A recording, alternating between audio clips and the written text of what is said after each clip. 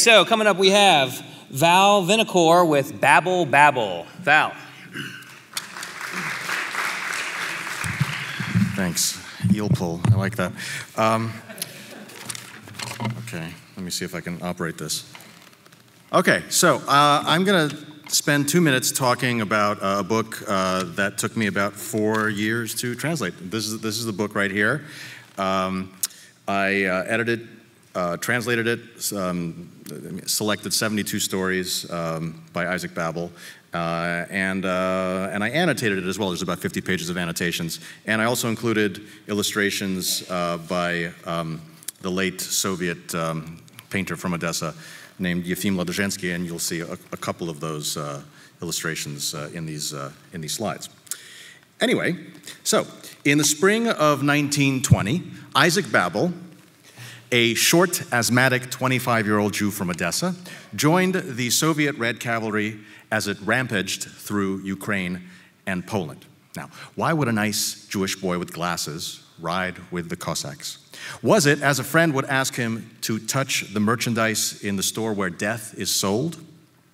To which Babel is said to have replied, I never touch. I just like to go inside now and then to see what it smells like.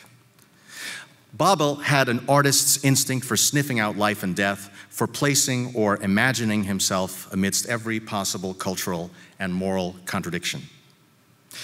I left Moscow as a child in 1978. A decade later, I was a bored teenager working in the mailroom of a large downtown Miami law firm, secretly reading Babel's tales of Odessa gangsters in raspberry wingtips, Cossacks in tall boots and black cloaks, thorns of supposedly detached prose getting caught in my skin.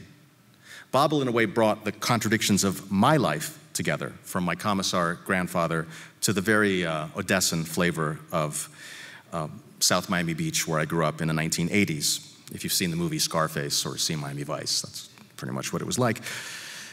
Um, by the age of 30, Babel had realized his dream of becoming the Soviet Tolstoy.